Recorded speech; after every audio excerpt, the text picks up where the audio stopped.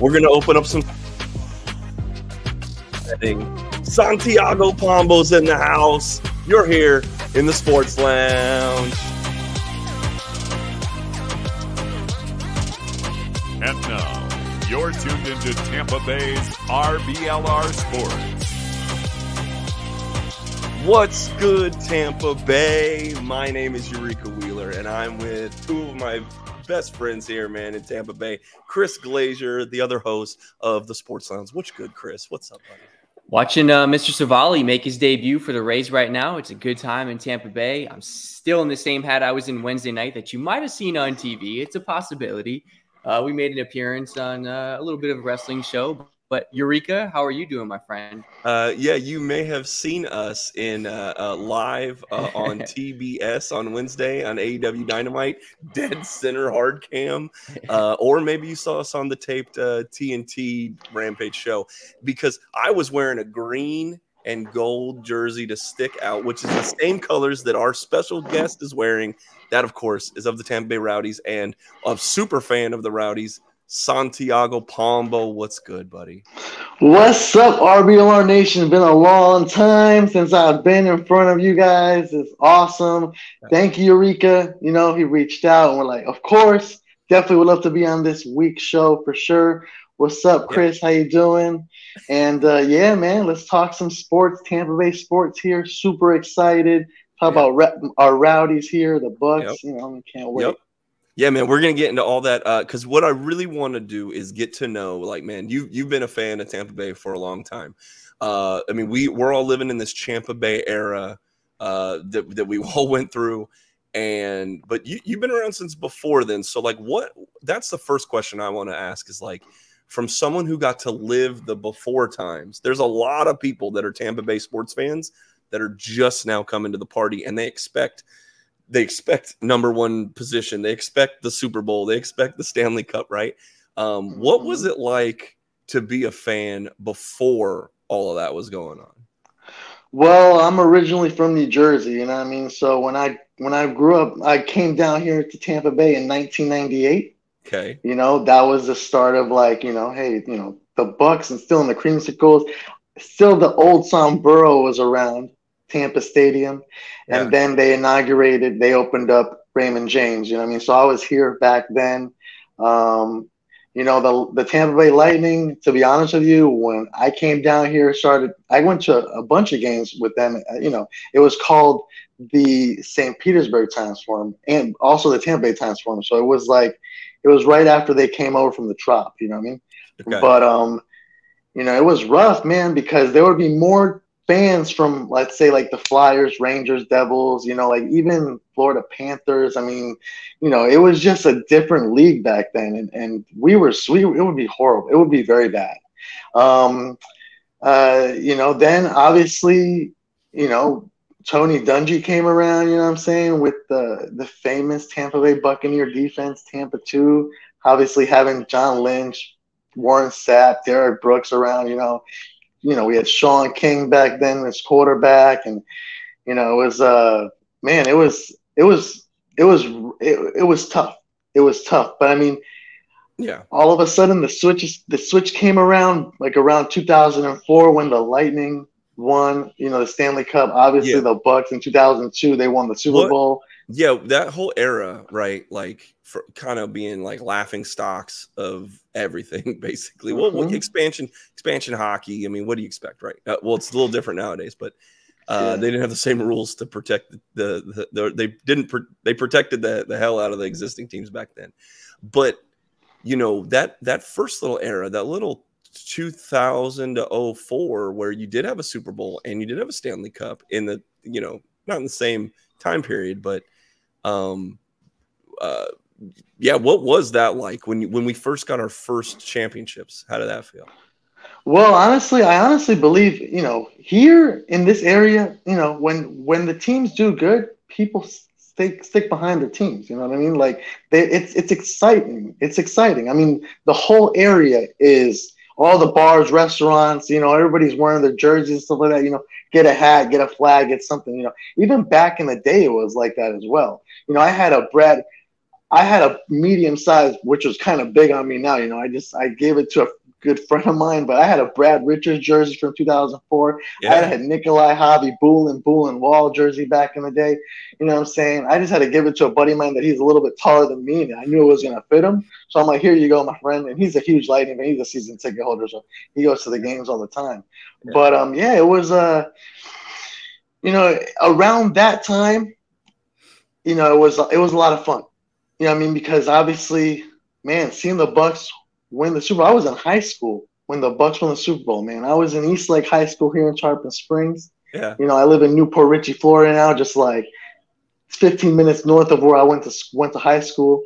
And uh, it was it was unbelievable. Joe Joe, Joe Jurevicius, you know, like Mike Alstott, you know, like man, the you know, it was it was crazy. It was unbelievable. You know what I'm saying? Really did. Obviously, I'm wearing a Rowdy's hat right here. You know what I'm saying? And it's like back in 2001 we had the we had an old team that doesn't exist of course because it came after the rowdies. Rowdies are come back from 1975 which i wasn't around but we had a team called the tampa bay mutiny. Yes. And it was they were part of major league soccer yes. which is super well known right now. You know you see leo messi and stuff it's a little like that, different now yeah. it's a little different nowadays with everything but you know i always heard about a team back in the day called the tampa bay rowdies Obviously, looked them up, fell in love with the team. When they came back in 2010, I jumped on board, you know, going to games that first of all, I went to that first ever game down at George Steinbrenner Field right across the street from Ray J. Yeah. Raymond James Stadium. That's crazy. I went they to made that, that a soccer yeah. pitch.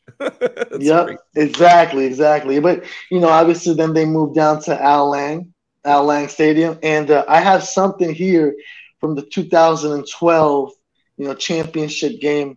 I actually got I actually got I actually got this jersey right here at the actual game. Um, like yeah. during halftime, I need I wanted to get a jersey, and I go down to the store and I say to a lady, "Hey, do you guys have any soccer jerseys available? Like like a medium size?" And she gave me the one that was off the mannequin, and then I wore it, and then I wore it, and that was that's the jersey right there. It has a one star and yeah. stuff, but yeah, man. But then I just kept going. I just keep going. You know what I mean?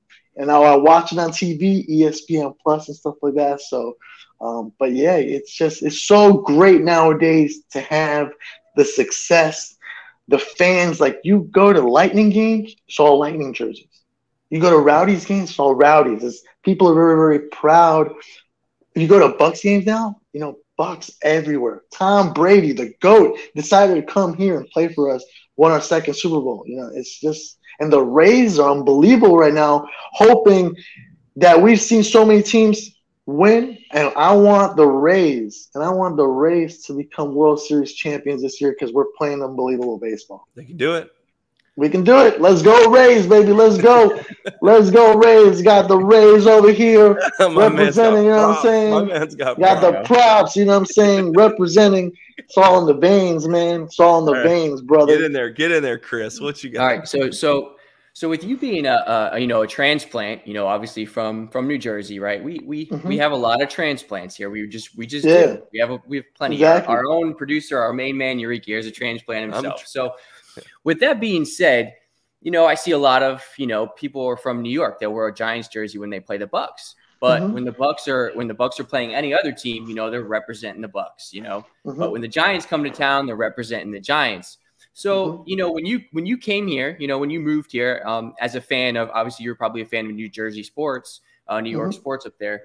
When mm-hmm. you got here, was it our culture that that made you want to that grasped you into man, I want to be a part of this Tampa culture, or you know, how does it work for a transplant like you? Because, like I said, I see a lot of fans who are on the, you know, eh, I'm from here, but I root for this. Are you just straight Tampa, or are you split down the middle a little bit? To be honest with you, because listen, I, I lived up in New Jersey 14 years of my life. You know what I mean? Okay. My first 14 years up there. So honestly, my first ever you know, the only really true New Jersey team that I've ever that I ever supported up there in hockey were the Devils. You know what I mean? Like I really did. Because they wore the the New Jersey, they're New Jersey. is not New York Devils. You know what I'm saying? It's New Jersey Devils, right? And then and I, and and when I lived up in New Jersey, you know what I mean? Like I only honestly ever went so because I was a, I was young. I was a I was a barely a teenager. You know, when I moved here in 98 when I was 14 years old, so I didn't drive. I didn't, you know, my parents had to take me some if I go, you know, whatever. So I honestly, I oh, I only ever went to of my remembrance was one ever New Jersey Devils game. That was at the old Continental Airlines Arena in the Meadowlands. And it was honestly Dave Andreychuk, who was our captain during the okay. 2004 Stanley Cup. I went to his game where he scored his 500, 500th goal. Okay. And um, I was young. I mean, obviously, I don't remember much of it. I was too young. But I remember, like, you know, when I lived up in New Jersey, and uh, I would always print out like the schedule, and I would listen to games on the radio. Like I would go to school on a school night, I would hear because I, I, had to sleep early, you know, I had to get up early the next one. But I would hear the Devils games on the TV because my parents told me like you have to go to sleep to get up for school the next morning. So pretty much that. Um, American football never got into the Giants or the Jets, to be honest with you. Um, you know, other than that, like you know, baseball. You know, be honest with you, I liked the Yankees when I was living up there. You know, obviously, like we already know the history the Yankees have, right? But you know, I've lived honestly, and I always say this: I've lived in the Tampa Bay area now since 1998, living here 25 years. I only lived in, in New Jersey 14 years of my life. So I've spent more of my life here in this area than I did up there.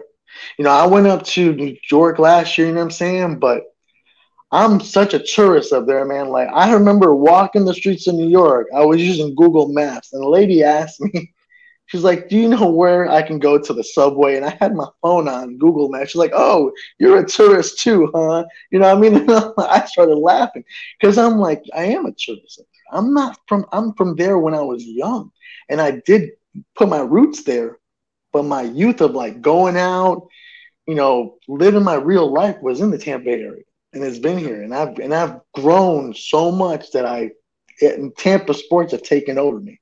You know, more than the sports up there. Like I said before, I grew up with the Devils winning three Stanley Cups. You know, 95, 2000, 2003. And I was in 2003, I was down here. Even in 2000, I was down here. But like I did, I did see them, you know what I mean? But, you know, it's not, and now the Lightning have three Stanley Cups, you know what I'm saying? So it's like, you know, it's just I'm a I'm a I'm a Tampa Bay fan right now, you know, and it's uh it's not going to be. Was I'm not like going to go back and forth. Was that a gradual thing, or was it like going to the games a lot? Like, I, I think that's a good question that Chris brings up because, mm-hmm. you know, a lot of people they they adopt Tampa as like their other team. I know I yeah. did it, you know, mm-hmm. coming from Colorado, but mm-hmm. then like going to the games a lot and in, in, engaging yourself into the culture you just it i don't know uh, it, how did that like happen to you? Was it like you're you're here now? Okay cool i'm gonna be tampa bay now? Or yeah. was it like you, you kind of root for both teams? Like how did that how did that work? To be honest with you i went to a devils game. My mom loves hockey. My okay. mom she she loves hockey. So I, my buddy his name is tyler crane. What's up tyler? Maybe you see this? I'm giving you a shout out. But he go he's a season ticket holder for um for the Tampa Bay Lightning, and uh, I remember it was like two three years ago he gave me um he gave me one of his tickets. It was for the devils. And uh you know i went with my mom. My mom and we sat in the seats and we were seeing the game. The devils scored first. And i'm like and honestly because it was just my childhood in me i went like yes i did go yes. And i gave a high five to my mom. And the devils were winning was it like 2-0 something? And then the lightning just scored scored scored scored scored. I got up and i get i gave an applause. I did because it's just like I have to accept I'm still gonna root for my childhood and I'm not gonna go against that, you know what I mean? But I live here now and I I want my teams here to be I want them to be out, you know, it's just like you know, like I want our history to grow more. Yeah. You know I mean? I want us to bring more Civil War here. Yeah. So we can get the best players here. You know, we can well, have the tradition of other cities yeah. that when you hear like huge stars now, you know, in, whichever sport, I want them to put Tampa Bay as a destination. I'll be like, I want to go to Tampa. I well, you, you bring up you bring up building history and things like that, and like I, I think one one place that you can talk about is is Al Lang Stadium. I think that mm-hmm. that's an experience that is unique to this Tampa mm-hmm. Bay area. It's something that uh, a lot of people like. One when you go there, it's there is just something magical about it, and it mm-hmm. kind of it's like once you're there, you'll be a Rowdies fan, or, or even if you're not that much into soccer, you'll be like, well, this is a cool thing to to to be around. But what was it like? You know, I mean, you you, you watched them at the Steinbrenner days. You mm-hmm. watched them, uh, uh, you know, uh, come to Al Lang before they even did the improvements that they've done now. Mm-hmm. So, you know, can you explain to somebody, or or just talk about your experience at Al Lang and like what what makes it a magical place? Yeah, I mean, like I went to Al Lang at the beginning of this whole renovation, this whole remodeling of the place. You know, Al Lang, as we as we know here as, as being locals for people that are going to be watching this around the world, and I'm wearing I'm repping a rowdies a rowdies hat right now. you know, um, Al Lang is a was a you know is that the name after somebody very important in baseball within our community. Right. And then it was a stadium that the actual Tampa Bay Rays used for a while for spring training. And then somehow it was after they left and they went down south, you know what I mean?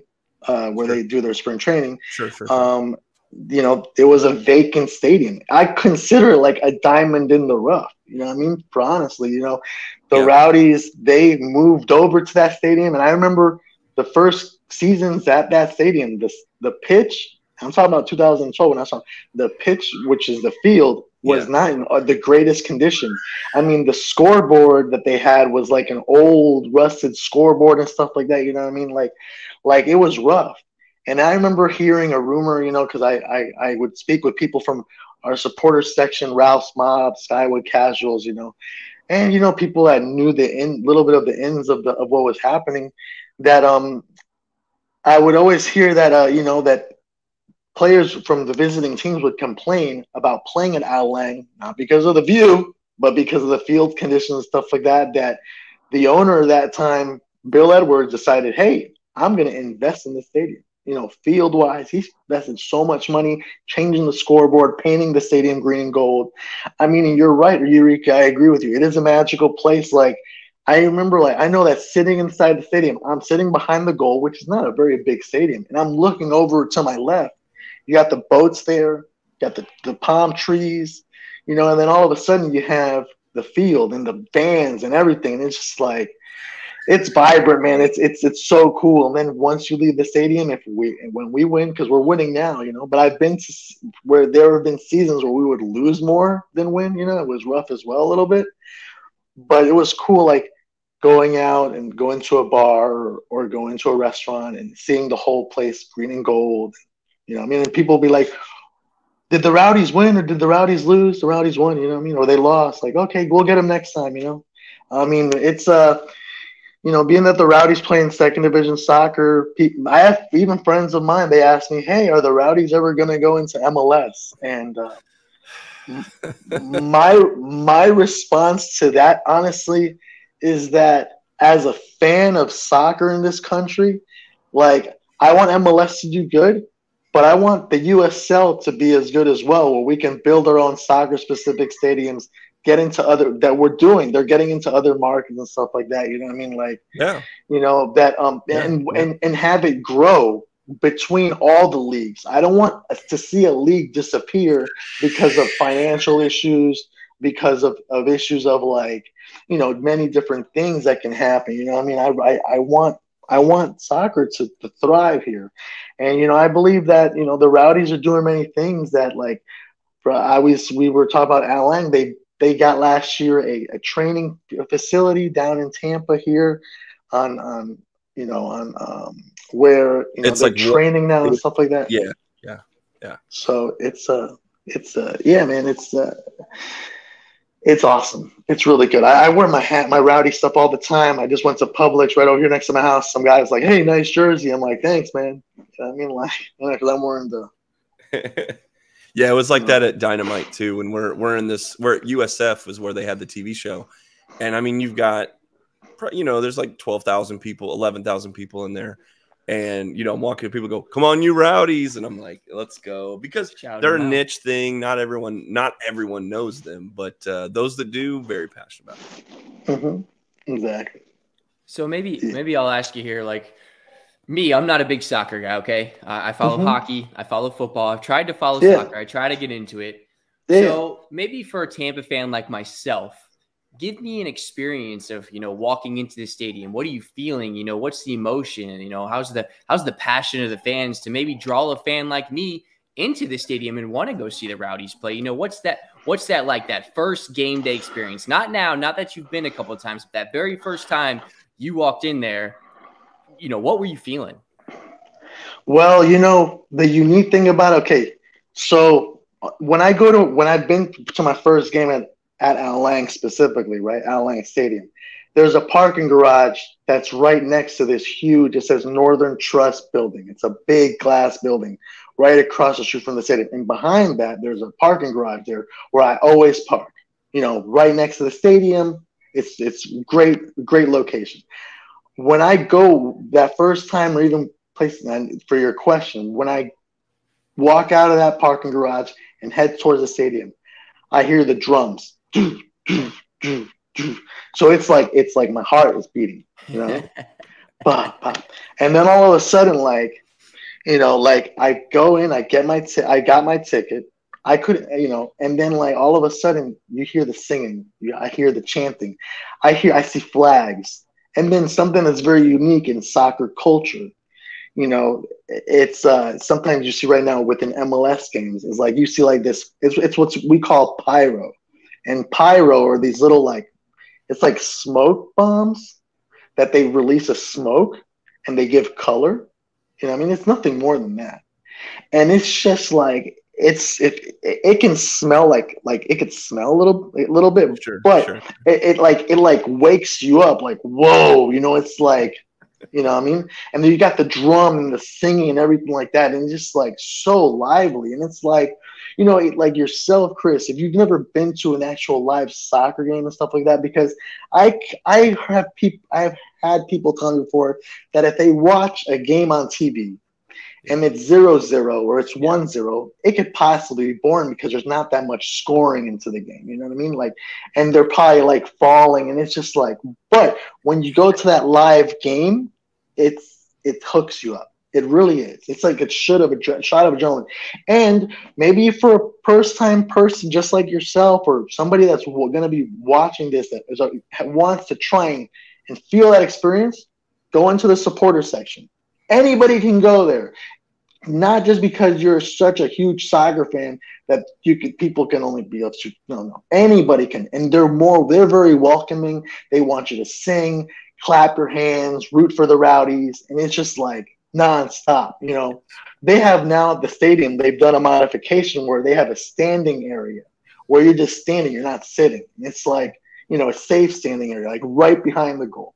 And they have a they have a person that's conducting the, the chanting and stuff like that, like the songs and stuff. It's just like, and if you don't know the songs, somebody next to you will help you. This is what we're saying. You know what I mean? And they're very, very welcoming. So I mean, it's just like, and and it's you know, you got good food, good drinks, good atmosphere. I mean, like tickets are like, you know, they could be like 20 bucks for tickets, you know what I mean? For the, you know, per ticket and stuff. And it's just, it's awesome.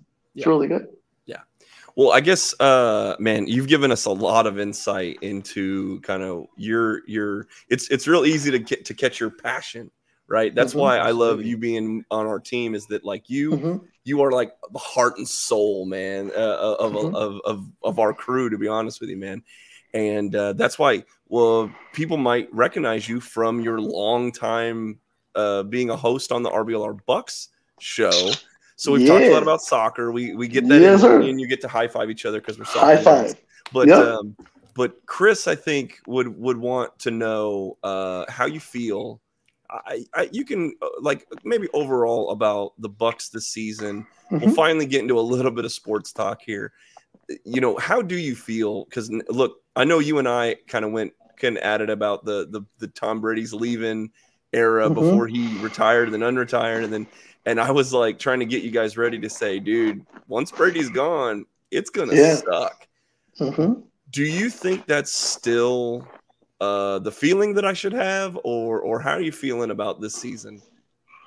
Well, like I, I you know, like, even when I was on the Bucks podcast for a while, you know, like. I would talk I, Tom Brady is the man, and I'm so happy that he came here. You know what I mean? Like for yeah. real, I really am. Yeah. You know, and um, you know, he is. This is Tom Tom Bay. Everyone Tampa, knows. Yep. Tampa Bay. You know what I mean? Bay. Tampa Bay, right? But you know what, man? Like now that we've gone past that, you know what I mean? We have Baker Mayfield, Kyle Trask. Baker Mayfield is a veteran of the NFL. okay. You know what I mean? He played in the Cleveland Browns, you know what I'm saying? Like Okay. and uh, you know, and if we're trying, I cannot compare him to Brady.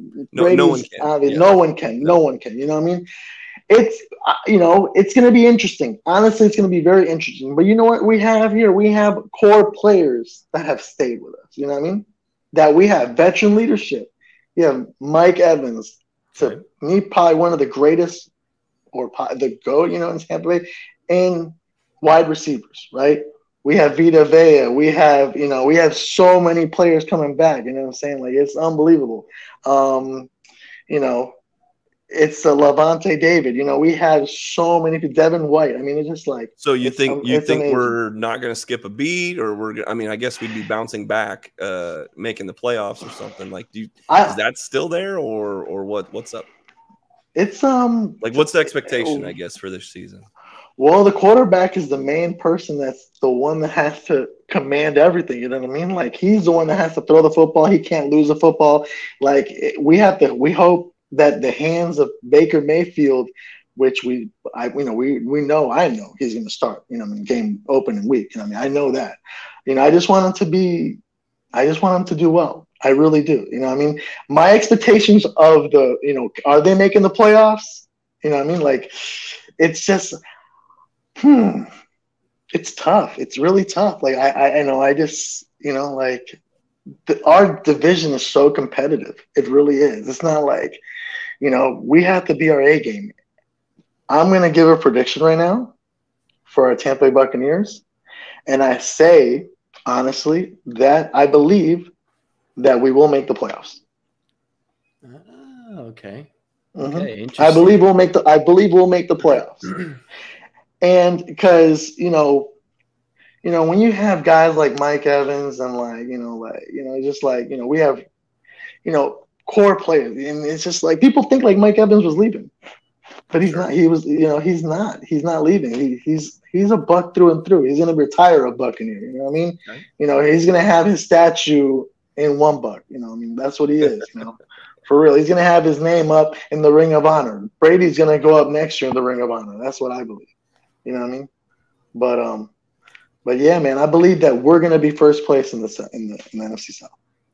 Taking first place. Okay, so Mhm. I'll ask you here really quickly because I want to get everyone's opinion on this. Mm. Yeah. Are you Mayfield? Are you Trask? Are you undecided? Or are you whoever gets us W's? Uh, you know, and, and when I was on the Bucks, I would always talk about Trask, and, and Eureka knows about it. You know what I mean? He knows because honestly, and I would always say this all the time, and I will say it again: you have to give the guy, you have to give the guy a chance Okay. to, out there on a regular season game to prove himself, because we cannot, he cannot prove himself from the sideline. And obviously, he was never going to take the job from Tom Brady. But now that he has that experience from Brady, you know what I mean? From seeing him pr- practice, he he should be given a chance. You know what I'm saying? He should. Why not? Yeah. You know what I mean? Yeah. Either the first game of the season or or or have him behind Baker Mayfield, but I want him to see. I want to see him play. I want to see what he has. I really do. You know, like why would you- we? Why would we spend on a on a draft pick like so high on him and, and not use? What's um? How do you how? What would you do? You know, you got the you only have three preseason games, right? Mhm. Yeah. Um. So do you split them down the middle for the first two of them, or like what? Like does does who starts the first half? Do you switch them up every quarter? Do you switch them up every half? Like because you want to see both of them with the ones. Mhm. Like Of course. Of you know, I, I don't know. Like what's what's how what's the best way to do that? I would put Baker Mayfield first two quarters, and then the last Okay. two quarters put Trask. Well, I guess how much how much time? Because like you said, you, you got to give Trask a shot, and I and I agree. with Yeah. I agree with that because you got to you got to mm-hmm. see if he's improved or anything over these couple years. So, you know, do you give them a 50-50 shot right off the bat? Is it I mean, is it a true competition right now? Yeah. Yeah, I believe I believe it's true. Even though Baker Mayfield always is much more experienced as a starting quarterback, but mm-hmm. I want I want to see I want him to play two halves, two quarters, third quarter, fourth quarter. I really do. Okay. You know I mean? Because I want to see him feel that pressure. I want him yeah. to do that. You know what I mean? Because because then we can get an idea of his decision making skills. You know what I mean? Yeah. because obviously you just get 15 minutes for one quarter. That's it. And you know, but I want him to play too. Yeah. You know what I mean? Because I think and, yo, go yeah. ahead, go ahead. Oh no, sorry. Um, and then like, you know, let's say he plays the first game of the preseason, like the, the third, fourth, third quarter, fourth quarter, right? And then obviously you know, we got to see what the coach says, man. You know what I mean? Todd Bowles, we got to see him what he sees. Does he see him like, hey, let's put him for the next full game? I don't know. You know what I mean? For the next, the second game, and then, and then maybe have Baker Mayfield play the last game. You know what I mean? What would be what would be success in your eyes for Trask? Because I mean, you, you are a big Trask guy. So like, what would yeah. be successful enough for you to go like, okay, he's the man. Let's you know, because well, do you do you think Baker's the number one right now? Do you think Trask is number two, trying to fight to number one? Is it a fifty? Is it who knows right now? Or are they going to flip flop? Like, like, well, that's what kind of where I want to get with that. I believe Baker Mayfield's number one. Okay. Because of his experience. Okay. That's it. But you know, I mean, like, you know, because Trask hasn't played a, an actual snap in a regular season game. Yeah. That's pretty much it. I mean, Kyle Trask comes preseason then. I, I, would have to see him. I honestly would have to see him throw. Uh, you know, have better. You know, when he's being rushed, have a, have good enough. Uh, not not to freak out you know, trying to throw the ball away and stuff like that. I want to have okay. composure and stuff like that. If he has to run out and make smart decisions, throwing it to Brady, throwing it to Godwin, you know, I mean, I'm not Brady. I mean, throwing it to Mike Evans, throwing it to Godwin and stuff like that. You know, I mean, I want to see him throw it to our tight ends. Like, it's um, you know, it's just it's just decision making because the quarterback is the is the the main guy. You know, I mean? yeah. he's the main player. You know, because like, to to answer your question, Chris, like I kind of said this on the last show too, but it's like I think they brought Baker in uh, for two reasons. One, to be a kind of a lighting the fire moment to Trask to say, we're not just going to hand this to you, dude. Just because you're mm-hmm. here and you sat here with a clipboard and we drafted you as high as we did, we're not just going to hand you the keys. You have to earn it. So here's a guy that we think is, you know, uh, uh, we're buying low on this guy that maybe has a high ceiling that he still needs to unlock. And basically, it's like, well, if Trask like gets his fire lit and comes back and beats Baker Mayfield, you know, you didn't beat a superstar quarterback, but you beat a guy mm-hmm. who's been a starter in the league. You know, yeah. so you, you, moved up the ladder a little bit, and, and we'll see what goes from there. If you're not good at, but on the conversely, if you're not good enough to beat Baker Mayfield, then you shouldn't be the quarterback of a starting NFL team. Uh, yeah. and and and and vice versa. You bring in Baker and you say you have a shot. You have a clear path. If Baker Mayfield comes in and from day one establishes himself as a leader, establishes himself as a this is this is stable ground that he's under. You know, they're not just going to give Trask the spot. They're going to tell Baker it's yours to lose. In mm-hmm. my mind, in my mind, and you say, "Here you go, buddy." Like, and, and from that, that's I think where we're starting is Baker's mm-hmm. one Trask is two. And if Baker slips and falls, well, then we got a guy that we're going to throw in there. And at worst case, they both suck and we have a high draft pick. Or maybe one of the two uh, gets that get that that opportunity that they've been waiting for and they seize it. So it's like mm-hmm. it could be a win-win, it could be a lose-lose, but e- either way, it's going to be interesting. Um, yeah, I don't know. Uh, Chris, did you have anything else before we get into our uh, our kind of the rest of the lounge? Because man, it's been it's been a really good half hour learning about Santiago and his passion and love for for the sports, man. Yeah, man. I, you know what? I, I enjoyed his answer of uh, entering the stadium for the first time because I felt like I was there. I felt the vibe. I felt the, the passion from the rowdies. What do you call them? Ralph's Mob, right? That's what you guys. Yeah, yeah. Them, right? Ralph's so, Mob supporters group. You know. Yeah, like, I think he did a really good job explaining that. So from me, from a fan who's never been out there to a game, I, I think it sounds yeah. like it would be really fun to to go out to one. So yeah. I think it was a good time. Yeah, and, and one thing, last thing, and one thing I want to say about that, you know, what I mean, like, because I, I grew up watching soccer on TV. My father's Cuban, my mom's Colombian, and uh, you know, like, my dad was a soccer referee. We, we would, I would go to him with local soccer games. Even started going to the first ever MLS games up at Giant Stadium up there. So I was always into soccer. You know what I mean? But I remember like going down here and you know going to high school. I would wear soccer jerseys and stuff like that. And even sometimes my classmates would tell me like, you know, they're like, "Hey, soccer is a is a girly sport." You know what I mean? And I'm being very honest with you. You know what I mean? So yeah, and yeah. because of the fact that you know, like, oh, you got a American football, and I'm like, and I can, I get it, American football. We love the sport, NFL, college football. You know what I mean? But it's the fact that we didn't have when I was going to high school, we didn't have like I can't show, I couldn't show them like a clip from YouTube. Be like, here, check this out. Maybe you'll like this, or, or or take them to a game. You know what I mean? But now it's a little bit different. You know what I mean? Like soccer is growing rapidly here, where anybody in any city, in any of the cities, like you want to go to a first time pro soccer game, go support your local team. You know, whether it's the Rowdies, whether it's a team in MLS, whether it's another USL team, you know, like, you know, like, uh, you know, Charleston Battery or like, you know, Birmingham yeah. Legion or Phoenix Rising. Those are teams in the USL. USL means United Soccer League, which yeah. just to let everybody know, are the league headquarters are here in Tampa, right across the street from Uni- from International Plaza.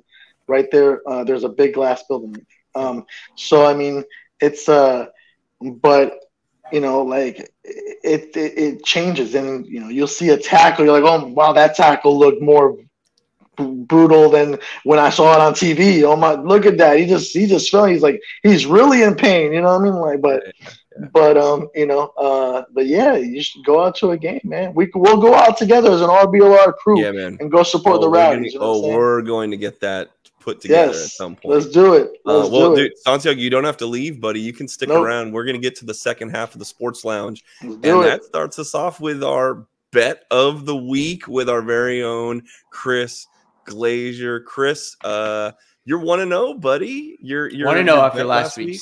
Starting uh, no, off right.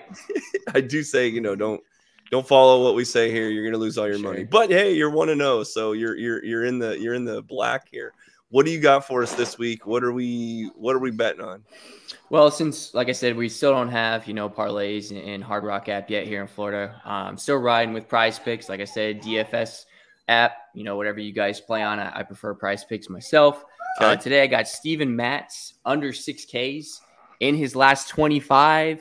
He's only gone over twice at home. Okay. So he's pushed three times at six. He's only gone over six two times in 25 games. So I like the odds there. Uh, Colorado, they're on the road. You know, that, that's probably what worries me the most. They've struck out a little bit as of late, but I'm going to ride the, the, under here with just the way he's he's been pitching lately. I mean, if he's only gone over twice in the past 25, the odds are in our favor. He goes under. He might even push at six. Maybe that's why his line is a little bit high because they are pitching against Colorado. So that's my bet of the day. Take it if you want it. If you don't want it, don't take it.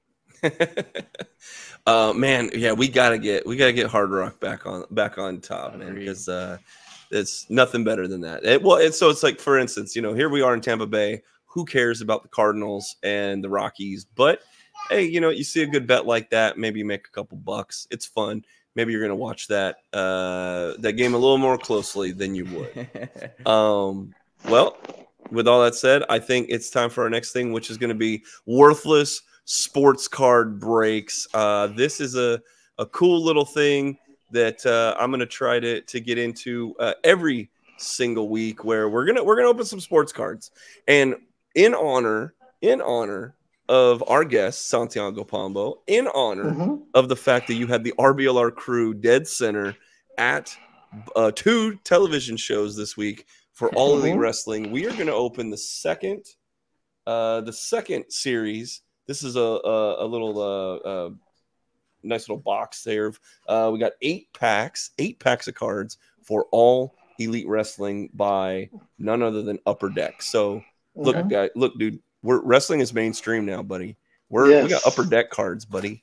So yep, exactly. I don't know if you guys collected the first set. I, I'm I'm in the process of collecting the whole set of the 1st mm-hmm. first, where it's like Jungle Boy's rookie card and Britt Baker's rookie card and all this kind of stuff.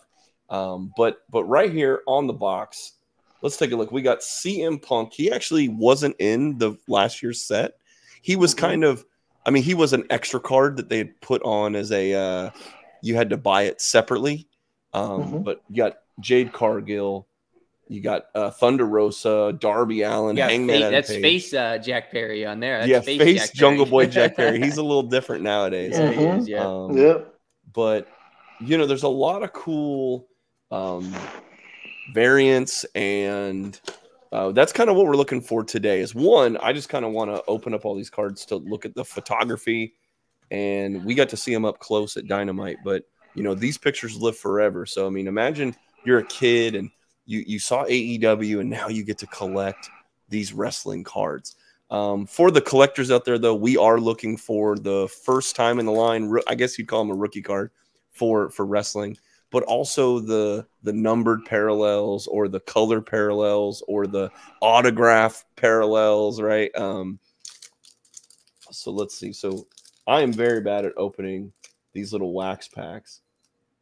So we'll see if i can get this other side of course the pressure's on me too because i'm doing this live and i didn't practice i didn't get my like i didn't get my warm-up packs in i'm really really Hmm. sucking here on the first one there it is. Well, because the, the problem is you don't want to damage the cards. Because say we get 100%. something really, really, really nice, right? Say we get Mhm. something really nice. I don't want to damage the corners. I don't want to Exactly. screw all that up, right? Yep. Very Correct, first card, Sting. It's okay. Sting. Look at that with that snow coming down. It's the stinger, baby. Here's Britt Baker applying the the lockjaw onto is that is that Julia Hart? It is Can't Julia. tell. It's it's it's it's uh when she was in her her cheerleader game. Oh yeah, the varsity blonde stuff. Here's Mhm. Nyla Rose in a Mhm. gold. We saw her. We saw her in action on Wednesday, actually. So this isn't this isn't numbered, but it is a gold parallel. So the normal cards will have this silver uh, around it. Mm-hmm. What do you guys think about the the the the design? It's kind of a it's kind of like a I don't know if it's like like a canvas kind of thing with paint around it or there's just kind of dots but um, kind of clean you can see the the the name pretty clearly at the bottom there Mm-hmm. the AEW logo at the top on the back it looks like it's the same picture like it's they took her face Mm-hmm. and they have a little a little uh, height, weight, born, and what is Nyla Rose secured her first victory over arch rival Hikaru Shida in November 2021 and advanced to the semifinal round. Um, but that's not the picture they took. Here's an insert. Oh, check this out. This is our first insert card. UD canvas for Miro. And now you can see on the little bit of glare here, but this is a kind of a kind of a art canvasy texture to it. Yeah, And so that's a very nice card. dude, this is cool as hell, man. Miro, uh, Santiago, how'd you feel about Miro's uh, appearance so far in AEW coming over from? WWE? You know, he hasn't. You know, you know, he's always a mid card guy when he was in WWE. I mean, Sure. he had you know, you know, he had that one big match with John Cena at WrestleMania. Yeah, But yeah, yeah. Other than that, like you know, I thought maybe he would have had possibly a title run. You know, yeah, Yeah. you know, in AEW, but Yeah. it, it Well, he won the hasn't TNT. He's, happened. he's a TNT champion for a while. Yeah, yeah, but you know that's you know the TNT championship, the TBS championship. Those are You're not. those high are very they're not high on it. you know? yeah, you're not. honestly, high. I honestly thought maybe he would have had something because of a name coming from from a recognized you know the juggernaut pretty much Right. of rest of pro wrestling. Right. You know what I mean? Right. Um, sports entertainment, however you know. Yep. But um, honestly, thought he would be he would be better be better. uh, Well, be well, better. here's a dude. Here's a dude that's currently holding the TNT championship, but he does. He didn't earn it. He didn't win it. That's Christian Tampa's own Tampa's own Christian Cage, who he came out. He came out in a promo. I don't even know if this made TV. Uh, I haven't actually watched the TV product yet, but he came out beforehand and and and he goes, you know, the Lightning lost in the first round. The Bucks like don't have Tom Brady, and the uh, the, uh, yeah. and and the Rays are gonna choke it. So he says, "I'm the only champ in Champa Bay." While he's He holding did. up the T, it's so it was so good. Um, but this is a different. This is a different uh, insert main features. Uh, just a cool, just a different little, uh, you know, these little dots in the background. I, I don't know. I, I unless it's a really cool picture, I don't really dig those cards. Um, Mhm. here's a tag team of the Lucha Brothers, one of my favorites. I think these dudes rock. Yeah. Um, Jay Lethal, uh, Chris, what do you, how's your Jay Lethal uh, experience been? I don't know if you watched TNA back in the day, right? Yeah, I mean, I think he's doing. I think he's doing his job right now. It's to put a lot of the younger guys over. His role is Yeah. kind of just he he's not going for a title. He's not. He's there to help out the younger talent, I think, and put him over like he should be doing. He's, Yeah. he's had some solid matches though. He's won a couple matches. He's been in a lot of tags. You know, them and Jarrett. So Speaking of tags, here's Santana, who there's rumors Mhm. that, that uh, Santana and Ortiz maybe mended fences. Maybe they'll be back together. Here's 2.0 from the Daddy JAS. Magic. Dude, Mhm. they're they're very good at being annoying. Um, Here's Mhm. Luchasaurus, the actual TNT Mhm. champion here. Yep. Um, here's an Arn Anderson manager card. hmm and this isn't numbered or anything, but it is a gold parallel because here it is. Here's a green numbered to 399 of announcer Jim Ross. Good old Jr. So this is Good old JR. definitely the best card we've pulled today. Yep. We'll put that off to the side. We're gonna that's gonna be a I'm gonna have to put that in a sleeve and keep that in the personal collection there. for sure. Um, Mhm. Here's outside. But so outside the ring, Mark Henry. Um, this goes. Mark Henry shows he has a giant-sized heart as they volunteer their time in the Pittsburgh area ahead of the inaugural edition of Rampage. Well, that's cool. Kind of Yeah. shows. That shows some things. Uh, Johnny John- Hungy. Johnny Hungy, buddy, and I believe this is the It rookie is. card. This is the rookie card of Max Caster Yep. who maybe has a Mhm. pretty long career ahead of him. Um, hmm that. that might be something special down the road. Well, here, you know what? I'm actually gonna. I'm gonna Never know. that over- That's the put that over- old old Max with those old Yeah. there. Yeah, That was probably him on Dark. Might have been on Dark. dude, what a Mhm. gimmick! What a gimmick that is, man. Those are two dudes that I had nothing for, and they stuck them together. And then who knew that having Billy Gunn would be one of the things that really like Took off. takes off, dude. It's wrestling is amazing that way, man. Yeah, it's um, it's a very, it's a, you know, I'm I'm I'm glad that you know pro wrestling is uh is Orange thriving now more than ever. You know, it really Hey, is. there's, there's There Billy is. Gunn right there. Here's Wardlow Gold Edition. Or Yep. dog. Main features Chris Jericho. Debut dates. Here we go. So uh, Bryan Danielson was another person that was not in the other set. Uh, he was Mhm. an extra card you you could get. I mean, officially he's in the set, but you couldn't get it in a pack of cards. Um, debut dates nine five twenty one. There. So uh, Santiago, here's a dude that came over, huge name from WWE uh, and they immediately threw him into the. I mean, he hasn't been for the title. Uh, he hasn't won the title, but he has wrestled Yeah. times. Yep. What's a guy like Oh, Bryan Danielson do mm. for AW? He's a big name, man. I mean, he has obviously we already know we know him as wrestling fans when he was in WWE as with the Yes Movement, winning WrestleMania 30's main event. Yeah, You know, um, that was huge. And then like when he came over, I remember when he came over that first ever appearance that he came over, and uh, Kenny Omega cut that promo, and he was like, "I leave you guys. I know I will leave you guys happy or something like that." and then and then took him, you know, and then he- you hear that. ba-da-ba-bum, bum, ba-da-ba-bum, bum, ba-da-ba- And then they put like a little twist to it, you know, like at the end, he comes out and the crowd went insane. You I, know? bel I believe they call this the pyro because there's like I'm trying to get it on camera. There's like Yeah. a firework Top right. kind I of see thing. Yeah, it. top Yeah. right. Top right. This corner, is a, yeah. not numbered, but it is a parallel for Scorpio Sky. Hope he Mhm. gets Um, better. Obviously, he well, got hurt again. kind of combining this we're going to come kind of combine this with our our, our pro wrestling talk because we only have about 10 15 minutes left um big Wembley Stadium show, Chris. Mhm. Uh, we just got our main event, MJF versus Adam Cole, baby. Uh, what? How does that go? What are you excited for on that? Man, uh, you know what? Most of all, honestly, I'm happy for Cole. He's been through a lot, man. I mean, his neck injury, all that. It's, it was serious, man. Like he was, Yeah. You know, and I think NEXT, like you said, he had some of his best matches there, and he's really, he's really come far, man. He's developed a lot. You know, I think Tony Khan really likes him. This storyline, FTR? FTR, Mhm. shout out to FTR. The storyline's been amazing.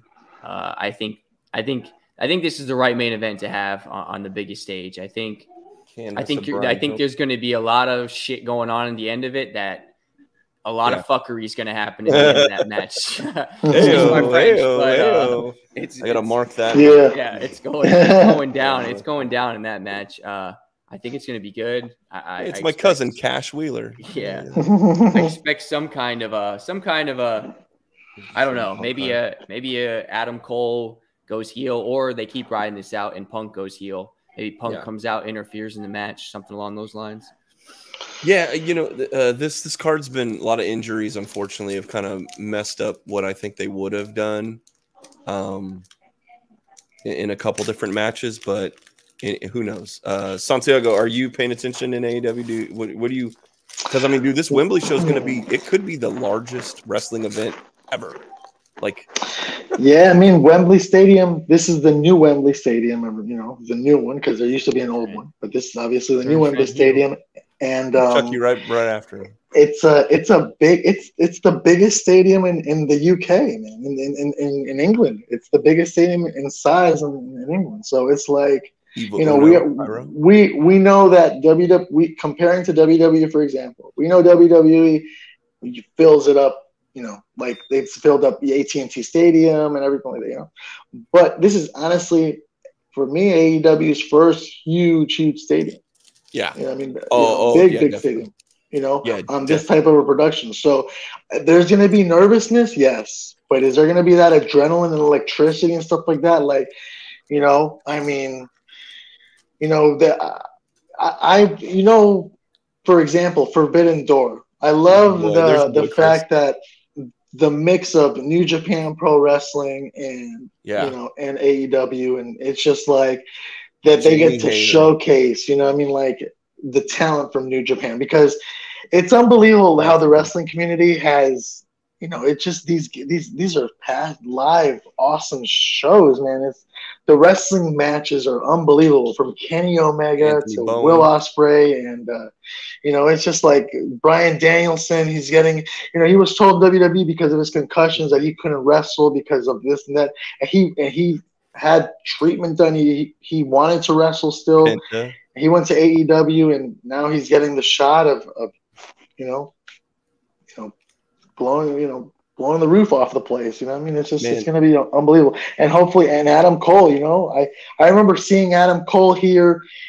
You know, a buddy of mine, I have a good friend of mine who loves pro wrestling, and he told me that NXT has these local shows. Yeah, You know, in these small venues here in Tampa. yeah, the Largo Loop. And I, Largo, and then one they have in Tampa by USF, University Yep. of South Florida. And I've been to both buildings, right?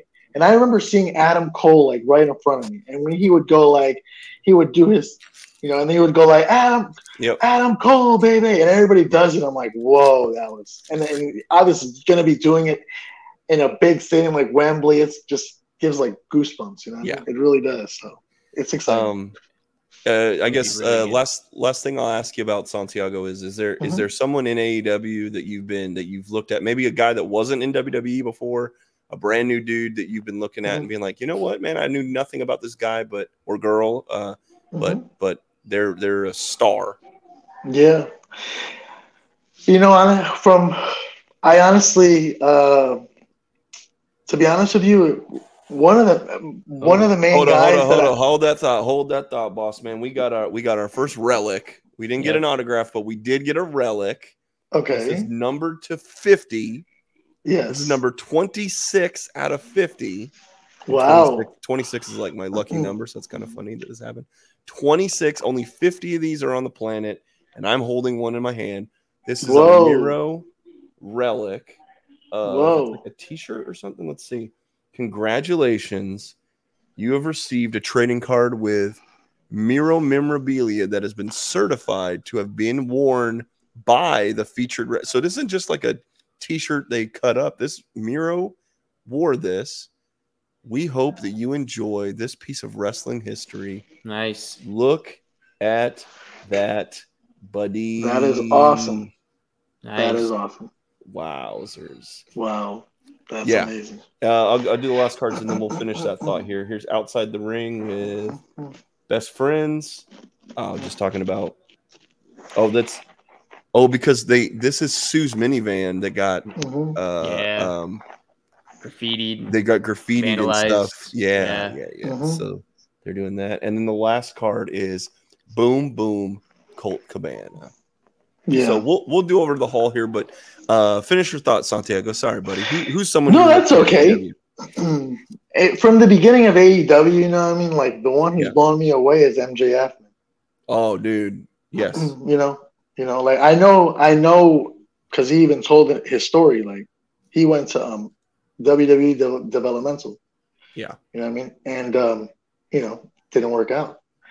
And uh, you know, he's just blowing up, man. Like his his promos, it's just like the guy is he gets under people's skin. And when you see that, it's just like, whoa, you know, I mean, it's like Yeah. And then obviously, like, you know, um, like talent like Darby Allin, for example, you know, even even Jack Perry.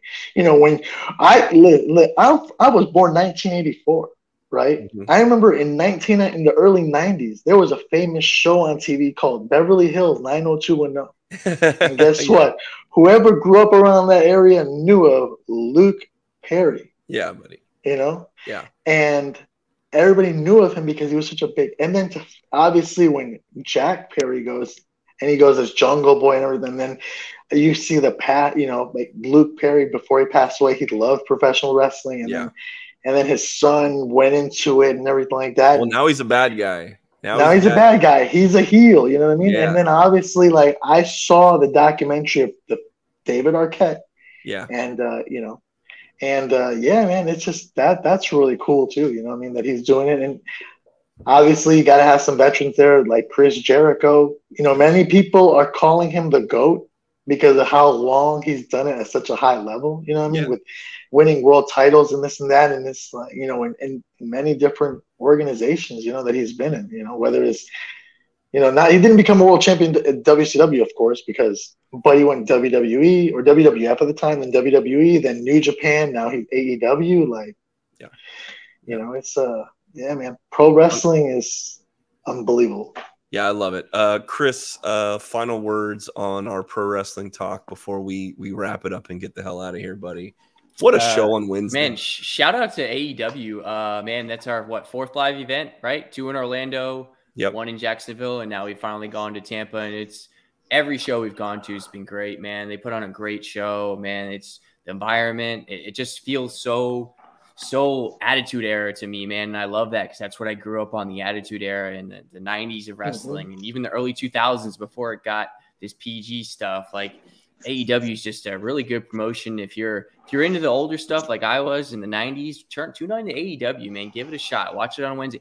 Even shout out to Collision. Collision's been great. Uh, they put on some great shows that it's been on. It's they got three programs now: Wednesday, Friday, Saturday. So overall, man, great product so far. You know, COVID. I think COVID injuries uh, hurt them a little bit a couple years ago with storylines and this and that. But now, now we're really getting to see what they can do with their talent they have. And MJF's phenomenal. This Cole storyline's been great. Yep. You know, it's it's it's all Well- just really good stuff right now. and they just wrapped up their uh, they've been they've been re-signing gigantic names in their company which Yep. to me is a canary in the coal mine kind of telling everybody that they have secured their future they have secured their television deal for a very long time and they are turning that money immediately into their Wembley Stadium investments and the elite the young bucks the it, and it would very much surprise me if MJF is actually a free agent. I, I, he's probably already been wrapped up as well, but but who knows? That maybe that's wishful Yeah. thinking, but Yeah. uh, they'll at least have the money to throw around, and you know maybe they preemptively struck with MJF before there's a bidding war of 2024. Buddy, what what a great show. Uh, this is Santiago to the Sports Lounge. We really, Thank you, really guys. appreciate this. Um, Chris, buddy, my partner in As crime, always. you're the man. All right. Yeah. Well, for everyone, we are the Sports Lounge. We are on RBLR. You can follow us at RBLR Sports on all forms of social media. And until then, we'll see you, boys. Peace.